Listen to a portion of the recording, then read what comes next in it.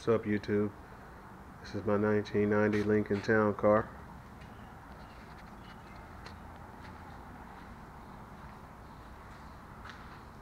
Today we're going to be changing the dump. Had a little problem the other day when I was riding. I come home and look underneath the car and there's fucking all kinds of fluid leaking from the bottom. And I found out what it was. It was this dump right here on the driver's side's back back cylinder there.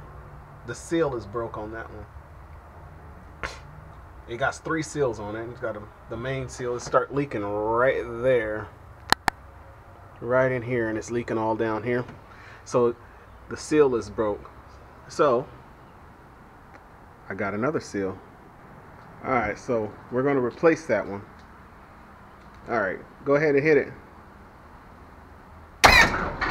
Okay. Now, if we can get close enough, you can see it leaking down there. You see it dropping?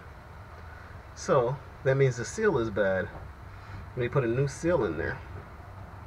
And that's what we're going to do. Alright. Here's what you'll need to take it apart. Okay, so now the dump is out of the car. What we're going to do is use a three-quarter wrench here. Undo it. Take this off. Now this is just the housing right here. You know, that's it just comes off like that. Then this piece comes out. Now it should slide up and down pretty easy. If it doesn't, then you might you're, you're probably gonna have problems in the long run. See how easy that is to slide up and down. Okay, so it just comes out. Then we'll just use this vice grip here. Take off this shaft. Okay.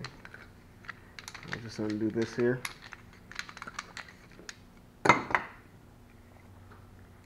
Then it comes out.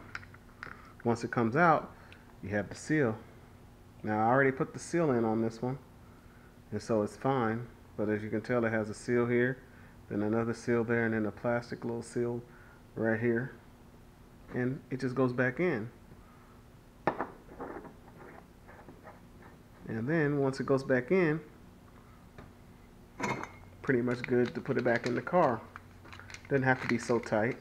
You just go ahead and, you know, just hand tighten it like that. Everything goes back on. That goes on. This goes back on in there, sits right in there. Housing thing goes back over top. Tighten it back up.